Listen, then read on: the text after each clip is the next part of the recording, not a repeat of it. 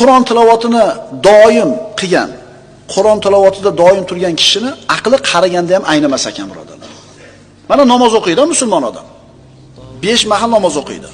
Qiyomda turar ekan, shijoatli, rukuda shijoatli, o'tirganda turganda shijoatli. Mana shu poylari yaxshi ishlab turadi.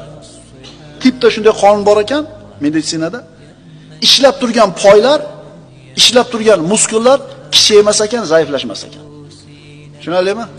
Demak, Alloh unga namozni farz qilgan kundan boshlab qoldirmay namoz o'qigan odamni sog'ligi zo'r bo'lar ekan. Shuning aytiladi, 98 yil umr ko'rdi bir jalil ulug' olimlardan bittasi. A'zolari ham yo'q o'rnida. E qanday qilib erishdingiz bu narsaga?